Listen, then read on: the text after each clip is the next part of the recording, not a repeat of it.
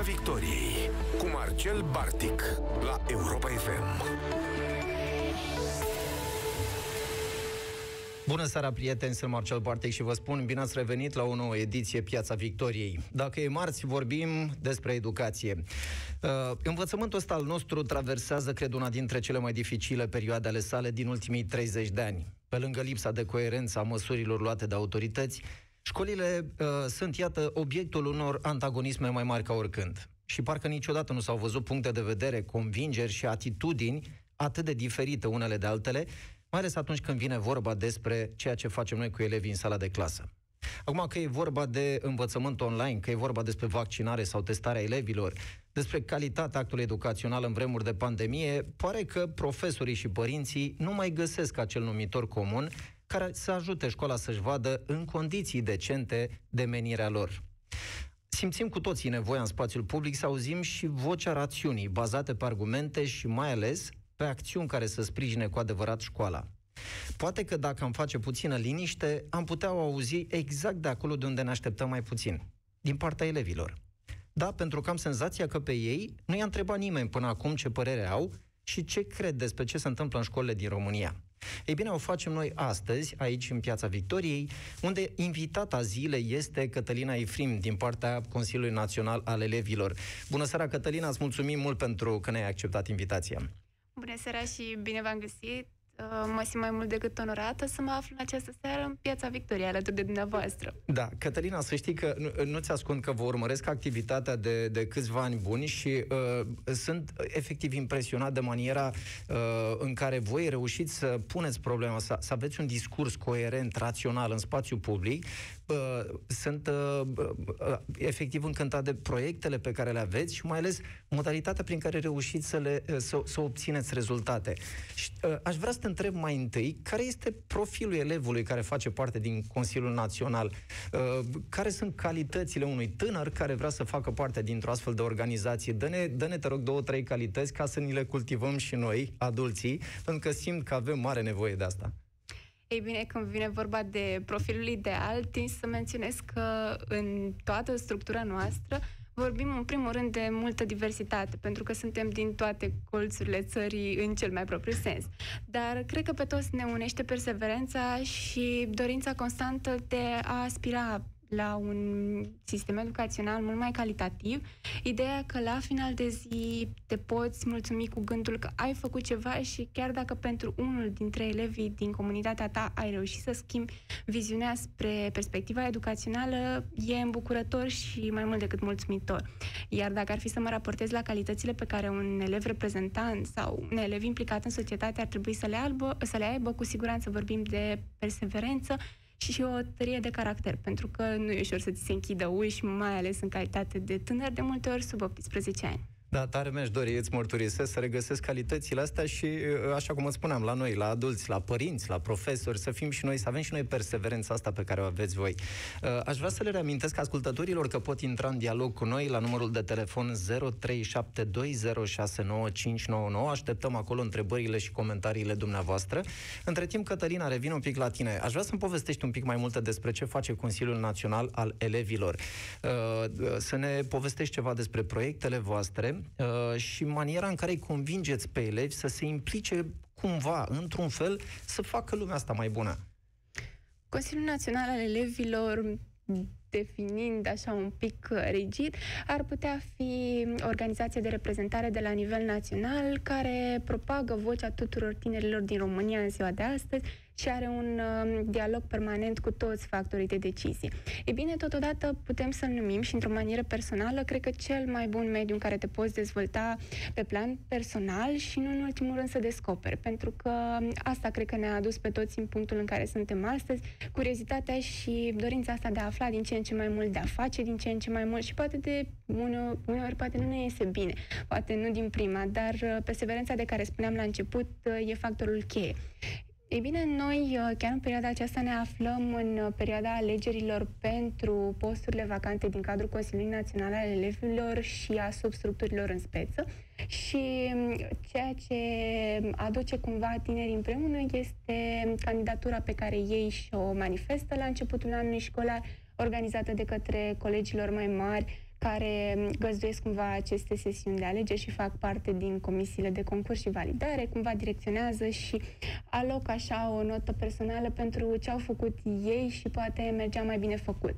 Pe partea de a-i atrage, ei bine, venim de multe ori cu un uh, portofoliu de activități pe care mm, nu le-am avut doar într-un anume an, ci poate devin proiecte de viitor pe care un mandat l-a predat către celălalt și le-am continuat.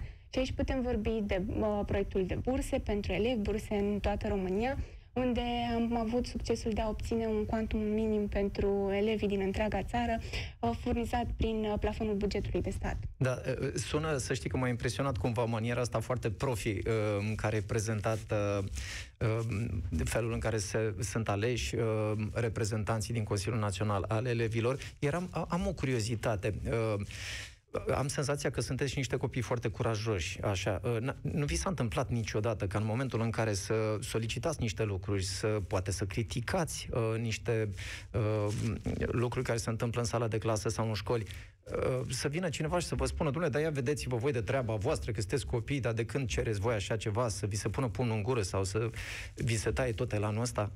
Ba da, bineînțeles, dar uh, asta nu ne-a oprit din ceea ce facem și nici nu cred că o să ne oprească prea curând, pentru că, așa cum spuneam, mișcarea de reprezentare este cu, pentru și despre elevi, iar ei sunt întotdeauna acolo să ne spună ce putem face mai bine, de ce lucruri au nevoie și totodată noi suntem acolo să-i ascultăm.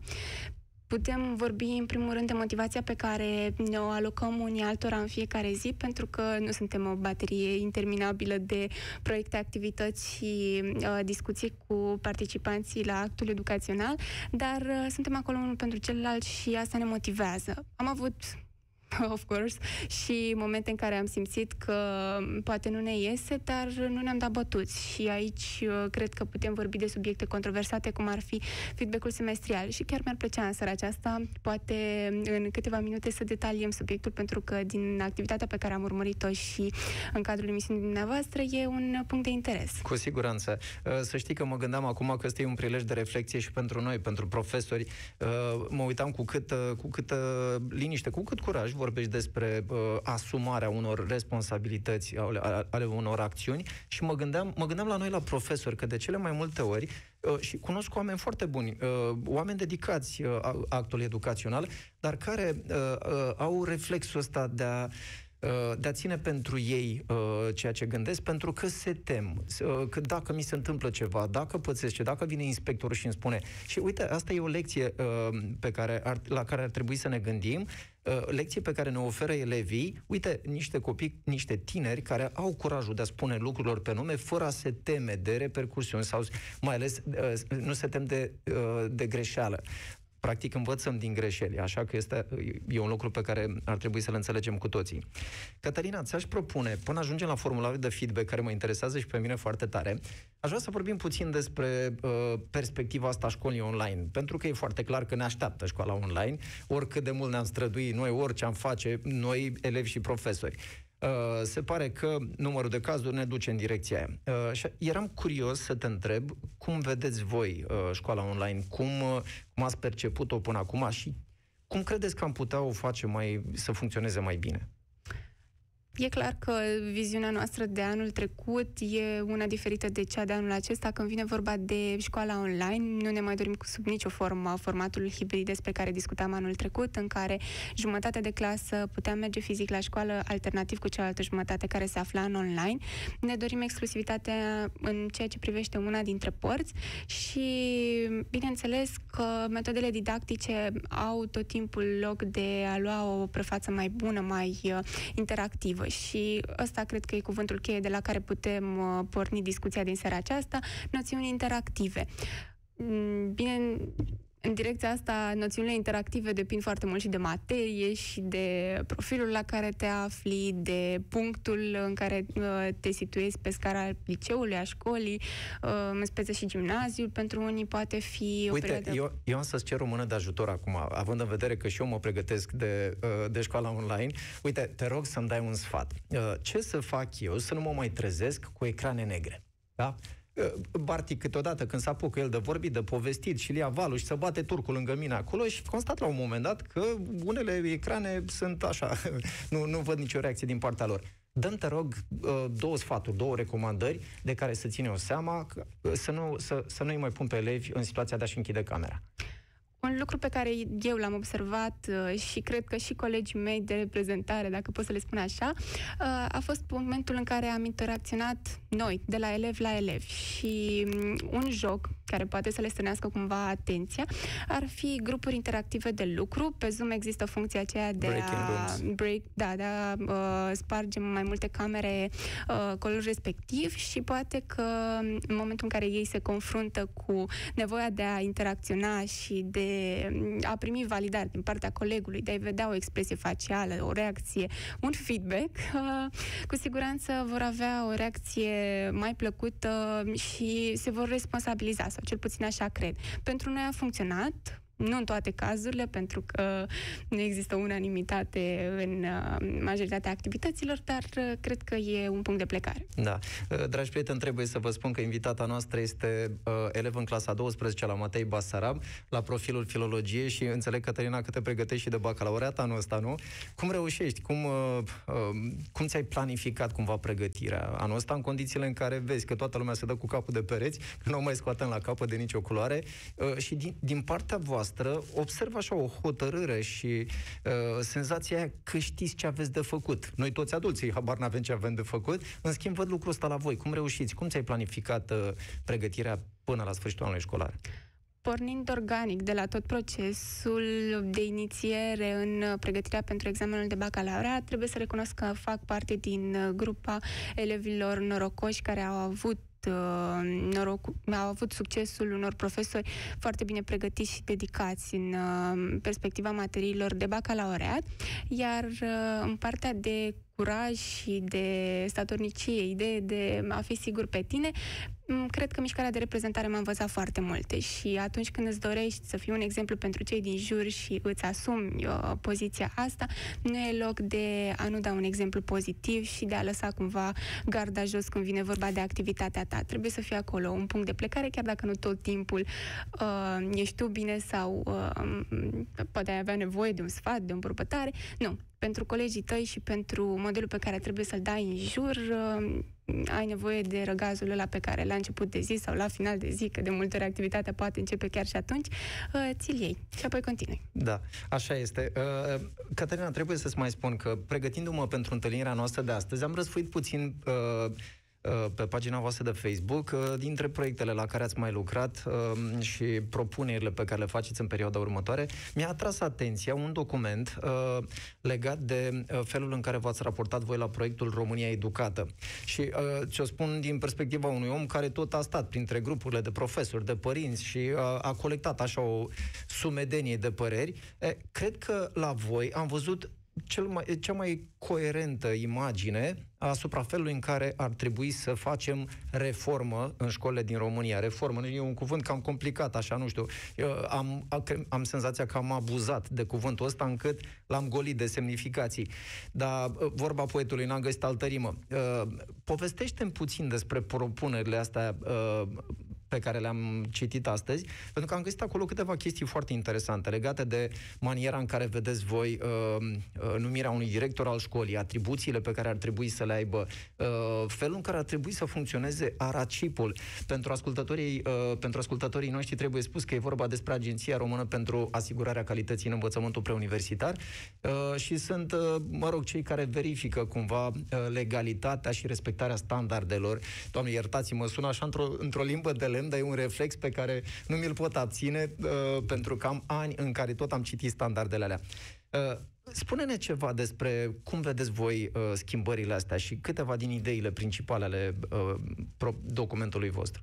În primul și în primul rând, când vine vorba de proiectele legislative pe partea de educație pe care ni le dorim, trebuie să ținem cont de faptul că ele nu pot avea loc sub nicio formă în termen mai puțin de lemn, să spunem, pe genunchi de la o zi la alta. Trebuie să fie niște măsuri eficiente, gândite de niște experți care s-au confruntat cu realitățile de multe ori poate dure și care proiectează în timp viziunile respective agreat cu nevoile elevilor. Și aici mă refer la partea de finanțare, care știm cu toții că a fost una controversată. În momentul de față, idealul este de a, ajuns, de a ajunge la 6% din uh, PIB, dar uh, cu siguranță mai mult până departe de și mult. cred că de la cuvântul de finanța, cuvântul finanțare pornește întregul parcurs al proiectului și al propunerilor pe care noi le-am înaintat pentru că la baza tuturor vorbim de fonduri pentru pregătirea domnilor profesori uh, din învățământul preuniversitar, vorbim de fonduri pentru dotare, pentru o infrastructură inclusivă, pentru rampe, pentru materiale sanitare, pentru un confort standardizat pe care ni-l dorim cu toții și pe care sperăm noi că prin toate demersurile pe care le avem o să le obținem într totul, pentru că în ultima vreme, trebuie să recunosc că am primit, într-adevăr, uh, mici portițe de deschidere care ne fac să fim din ce în ce mai optimiști și cred că la începutul uh, conversației noastre vorbeam chiar de continuitatea pe care o dăm de la mandat la mandat pentru proiectele pe care le avem și poate că dacă noi acum deschidem uh, calea celor ce ne vor urma, există o șansă să ne apropiem din ce în ce mai repede de idealul propus. Și da, că tot am vorbit, aici ne axăm pe partea de formare din uh, partea statului pentru cadrele didactice, de dotarea școlilor cu uh, rampe, cu lifturi, cu uh, materiale didactice pe care să, de care să putem profita în ambele părți, atât noi cât și domnii profesori, pentru că ăsta e adevărul. Consiliul Național al Elevilor e structura aia care încearcă să fie acolo pentru toți, astfel încât să fie un climat cât mai plăcut. Poate că de multe ori n-a fost uh, corect uh, interpretată poziția discuția noastră și m-aș bucura dacă în seara asta măcar o parte din audiența noastră ar uh, vedea Consiliul Național ca fiind structura de reper la care să apeleze, indiferent că este un părinte, un elev sau un profesor. Sunt convins că sunt toate șansele să-i convingi, crede-mă. Uh, aș, vrea să, aș vrea să punctez. Am găsit în, uh, printre propunerile voastre un detaliu foarte interesant legat de formarea și evaluarea profesorilor Uh, și acum probabil că ascultătorii noștri și amintesc că a fost așa o dezbatere întreagă de felul în care facem evaluarea cadrelor didactice uh, și ajungem și la formularul ăla de feedback. Voiam doar să amintesc, mi-a plăcut foarte mult. Eu am crezut că sunt singurul care s-a gândit la asta până acum, uh, la uh, ce ați spus acolo legat de masteratul didactic, obligativitatea masteratului didactic pentru toți profesorii din România uh, și ca acest lucru să se întâmple, uh, să, să fie suportat de stat. Uh, poate, poate nu-și amintește toată lumea, dar masteratul didactic în acest moment are cam același statut cu orice alt program de master în uh, mediul universitar. Asta înseamnă că un profesor care a făcut deja un astfel de program acum nu știu câți ani, neștiind că va ajunge să, să existe o asemenea ofertă educațională, în acest moment nu, nu, mai, nu mai poate accesa decât dacă îl plătește. Cu alte cuvinte, dacă intră la taxă. Acum, stau și eu și mă gândesc, cumva, masteratul ăsta, ideea principală a masteratului didactic era să-i ajutăm pe profesori să-și îmbunătățească uh, metodele de predare. Păi, e, știi, știi, mie mi se pare acum că masteratul ăsta e ca un fel de, ca un măr atârnat pe o creangă atât de sus încât nu prea ajunge nimeni la, la el. Și de asta apreciez foarte tare Uh, propunerea voastră prin care a spus ca statul să subvenționeze, să, să există o obligativitate acestui program de formare și mai ales uh, gratuitatea lui. De asemenea, mi-a, mi-a plăcut foarte mult cum ați văzut voi poziția directorului. Cum ar trebui să fie un director într-o școală? Cum ar trebui să fie numit? Ce atribuții ar trebui să aibă? În momentul de față, funcția de director urmează a fi câștigată, practic, prin concurs și idealul pe care noi ne-l dorim la momentul ăsta este cel al meritocrației bazată pe competențe reale. Adică, un director n-ar trebui să aibă doar uh, acea funcție administrativă și în propunerile pe care noi le-am înaintat uh, vis-a-vis uh, la proiectul uh, prezidențial România Educată, apare și defalcarea celor două direcții de uh, conducere și aici mă refer la directorul educației educațional și directorul administrativ. Directorul administrativ să gestioneze tot ceea ce înseamnă de partea tehnică, cifre și uh, părți poate mai puțin văzute, dar care țin de buna funcționare a unei unități de învățământ, iar uh, partea educațională, așa cum îi spune și numele, să aibă la bază o activitate ce um, aduce cumva profesorii cât mai aproape în uh, ideea unei pedagogii îmbunătățite și um, referindu-mă puțin și la partea de masterat uh, didactic de care discutam mai devreme, cred că cea mai bună investiție pe care o poate face un stat în oamenii săi e, bineînțeles, educația. Și dacă noi nu solicităm asta și nu venim în ajutorul cadrelor didactice care merită până la urmă să investească în uh, practicile pe care poate deja le dețin și pe care poate nu și le permit a fi îmbunătățite împărțite la momentul ăsta, atunci nu știu cum am putea vedea un climat prietenos pentru ambele părți dacă nu alocăm prezumția de datorie față de, de cei care ne sunt dascăli și care au grijă de educația noastră. Pentru că sunt mulți oameni și, dincolo de statut de profesor, chiar uh, a doua casă, un, un set de al doilea părinți. Exact. Uh, aș fi vrut să, să mai vorbim puțin și despre felul în care uh, vedeți voi evaluarea profesorilor. Înainte de asta trebuie, să, trebuie să-ți povestesc ceva. Uh, anul trecut, când a fost uh, propus formularul ăla de feedback, uh, cred că l-am aplicat c- cât se poate de repede. M-am dus la prima clasă și am zis, mă, mă copii, știi, uh, știți, astăzi vreau să vă rog să-mi spuneți și mie ce credeți voi despre ce am făcut eu anul ăsta. Uh, și s-au uitat copiii mari așa cu ochii și de domn profesor, da, da, da, pe bune, nu? Pe bune, cum? Nu există nicio, nicio problemă, nicio supărare, vreau să văd exact cum vedeți voi lucrurile acolo. Și au scris copiii exact cum le-a trecut lor prin cap, exact cum au văzut ei ora. Unul săracul mi-a scris acolo, zice, domn profesor, vorbiți cam mult. Uh, pentru mine a fost, o, a fost o experiență foarte faină. Sigur că noi aveam genul ăsta de discuții. Elevii mei sunt obișnuiți cumva, dar erau mai puțin structurate la sfârșitul fiecărui semestru, la uh, sfârșitul fiecărui an. Aveam așa uh, discuții pe zona asta. Fraților, hai să ne facem și noi ora asta mai faină. Voi, cum, voi ce credeți, voi ce părere aveți.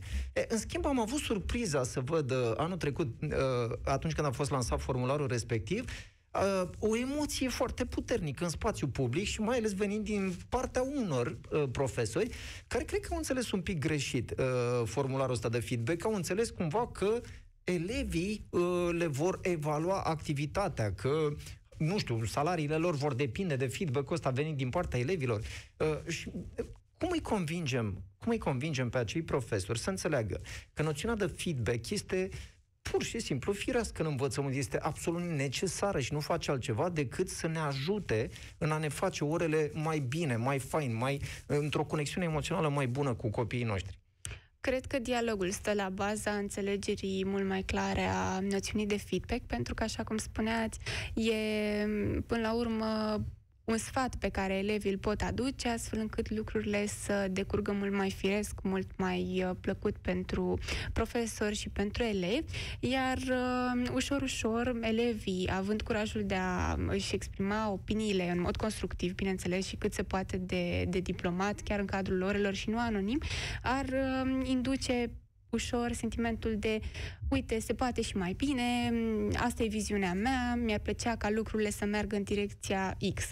Și mai apoi, la final, feedback-ul în uh, stadiul lui standard, adică acel formular pe care ministerul l-a trimis în teritoriu, să fie doar o sumarizare a tuturor lucrurilor care pe tot parcursul anului școlar până la urmă au devenit uh, un reflex.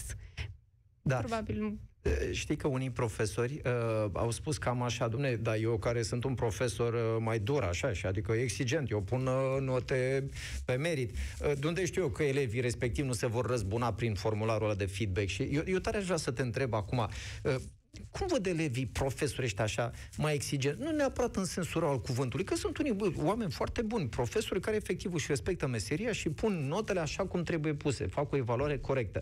De ce ar trebui să teamă oamenii ăștia că elevul s-ar răzbuna? Elevii urmăresc lucrul ăsta? Eu nu cred asta.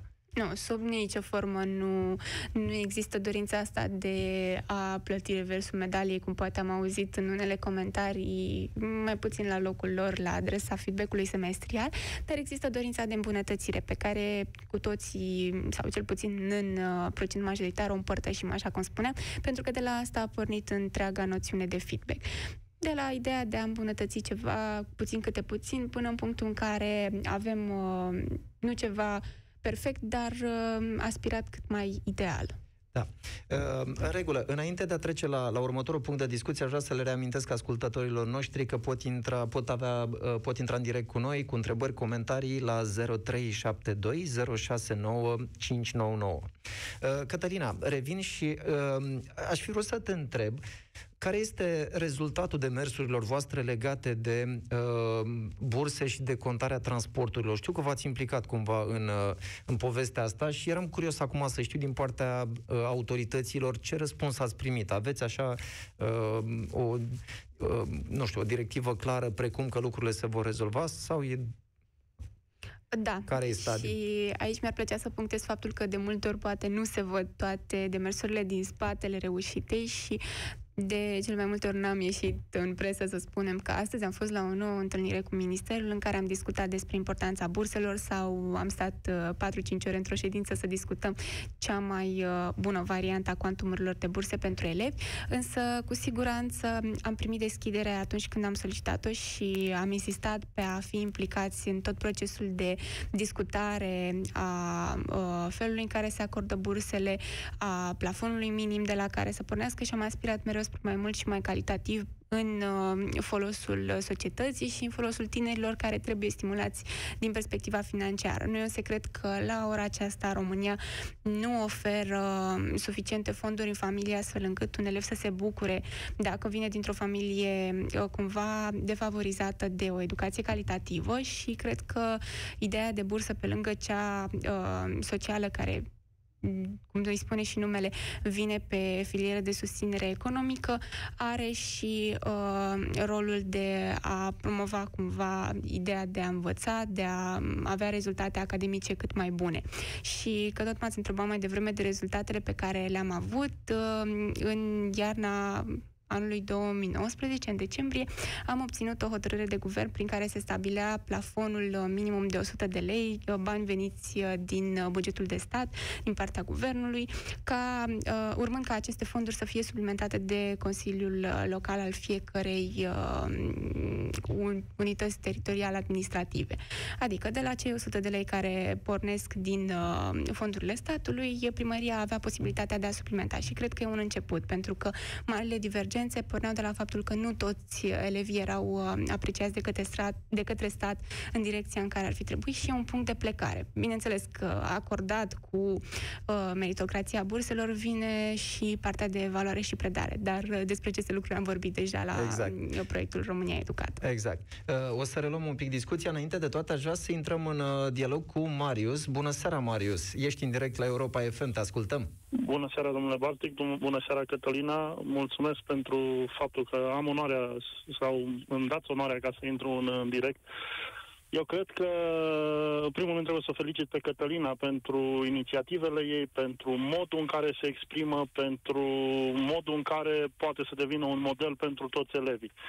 Dar eu cred că uh, elevii ca și Cătălina sunt uh, excepțiile și excepțiile nu fac reguli de obicei, în sensul în care uh, ea este unul dintre elevii foarte buni.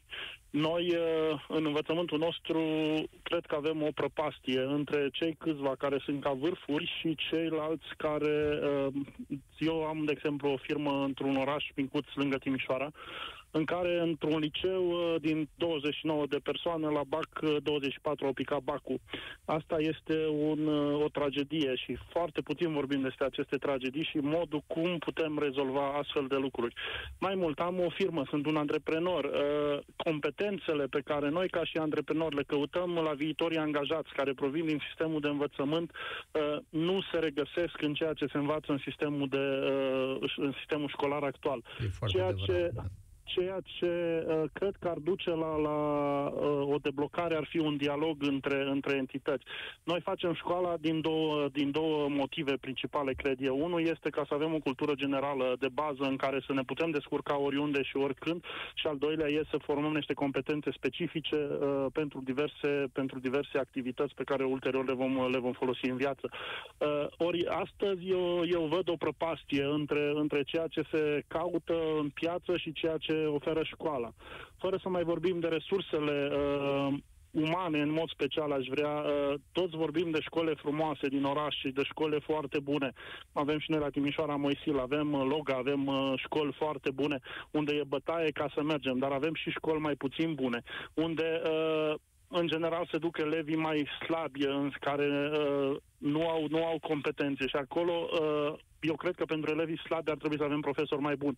Ori aici avem o corelație, uh, elevi slabi și dascăl slabi, ceea ce duce la un rezultat uh, rău sau foarte rău până la dezastros, în sensul în care ceea ce se scoate pe băncile, de pe băncile școlii despre aceste școli despre care vorbesc mai slabe, uh, nu se corelează nimica cu ceea ce vorbim noi de România educată, de proiectele mari și ambițioase pe care la nivel de președinte și la nivel de minister da. le vedem. Foarte adevărat, Marius, să știi că sunt absolut de acord cu tine. Uh, poate aș detalia puțin uh, povestea cu maniera în care apar rezultatele alea slabe, pentru că aici trebuie să vedem puțin și ce, ce, ar, ce ar fi putut face școala. E undeva un 50-50% responsabilitate din partea, din partea fiecăruia și legat de competențe, competențele da. pe care ar trebui să le livreze școala, eu tot stau și mă gândesc ca om care chiar mai știe programele școlare și planurile cadru, mă gândesc să știi că apar competențele alea, adică apar foarte bine scrise. Acum, mă gândesc aici că se uh, apare o... Haideți o ruptură acolo unde le punem în practică.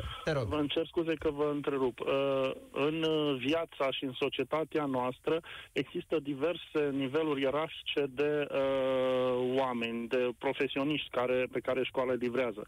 Sunt oamenii care uh, ajung cu studii superioare, care ocupă niște pu- uh, funcții de conducere la un anumit nivel din, din cariera lor și așa mai departe, dar sunt și oamenii de first level.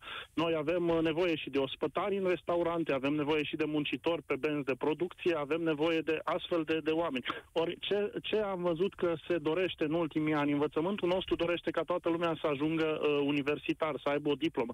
Ori noi creăm o școală uh, pentru a avea diplome. Ce s-a întâmplat uh, în America cu acele, acele credite pentru uh, învățământ, unde au vrut să stimuleze uh, sistemul american să fie competitiv în competiția cu Rusia după, după ce s-a ajuns pe lună, s-a ajuns ca să, să dea aceste universități, uh, să să zic, de consum. Același lucru îl văd astăzi în România, după N ani. Adică noi nu luăm ce, ce e bun dintr-o, din societățile dezvoltate, ci luăm ce e mai puțin bun. Da. Eu uh... cred că școala românească ar trebui să pregătească oameni pentru toate tipurile de structuri. Nu se poate gândi că toți oamenii vor fi șefi în viața lor și toți vor trebui să urmeze o universitate. Absolut. Și sunt foarte de acord integrăm... cu tine, Marius. Îți mulțumesc tare mult pentru intervenție. Ne-ai dat, da. ne-ai dat multe uh, subiecte de, de reflexie. Aș vrea să o întreb și pe Cătălina acum. Cătălina, uh, mi-a, mi-a rămas în minte povestea asta cu rezultatele slabe la bacalaureat și la evaluările naționale. Cum apar rezultatele astea? Cum putem să, să le diminuăm? Că, într-adevăr, sunt, uh, sunt zone, sunt orașe, sunt comunități în care rezultatele sunt catastrofale. Citeam nu de mult vara asta, am citit despre localități în care avem licee cu promovabilitate 0%. Cum Dumnezeu ajungem acolo și ce putem noi să facem? Să ajutăm pe copiii și pe profesorii de acolo, cum foarte bine ai spus tu mai devreme, să, uh, să depășească pragul ăsta critic. Da, și a punctat foarte bine uh, domnul care a intrat mai devreme în live cu noi și pornim de la subiectul finanțare. Pentru mine, cred că e punctul foarte în uh, tot mandatul și vorbim de uh, zone răufamate Cred că acolo, dacă ar fi să aruncăm o privire, am vedea că sunt zone defavorizate, sunt mediile rurale, vorbim de mediile în care nici atracția pedagogică de a merge și de a predea pur și simplu în teritoriul respectiv nu există, din moment ce, să fim serioși, condițiile de lucru sunt destul de, uh, destul de complicate și pornind de la ideea că faci rai din ce ai, de multe ori ai nevoie să și cer pentru Categoric. a consolida acel rai pe care dorești să ți-l clădești.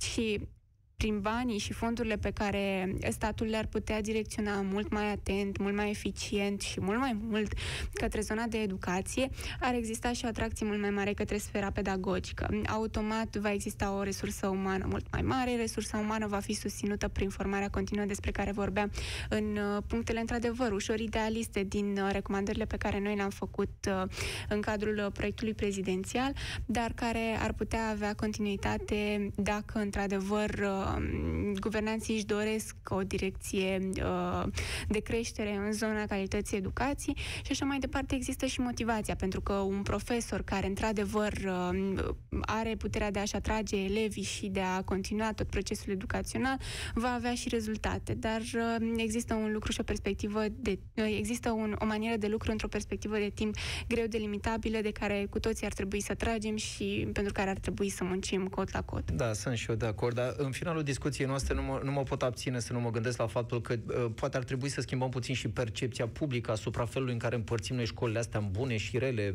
uh, alea din centru și alea de, nu știu, din mediul rural. Bă, cum, fa- cum să ajungem noi să facem ca toate școlile din România să fie bune, să, să ajutăm pe profesori să înțeleagă că pot preda și că sunt profesori de adevăratele acolo unde reușesc să aducă un copil de la nota 3 la nota 7. Asta mie mi se pare un progres academic excepțional. Nu uh, cred că școlile sunt problema aici și iartă-mă că, că am intervenit, Sigur. cred că e problema mentalității sociale, unde s-a pornit de la început cu premiza faptului că e rușinos să știi să faci și o muncă în care interacționezi, cum spuneam mai devreme, și uh, domnul respectiv, că avem nevoie de spătar, că avem nevoie de bucătar, oamenii ar trebui să înțeleagă că nu e nimic greșit în a face lucrurile astea și că ai nevoie și de specializare. Și cu cât muncești mai mult pentru ea, cu atât uh, devii un uh, potențial performant în, uh, în domeniul tău. Și trebuie înclinați, trebuie deschiși spre a opta spre mai bine și spre a vedea lucrurile astea cu mult mai multă deschidere, cu mult mai multă plăcere și de a înțelege cu adevărat că societatea nu funcționează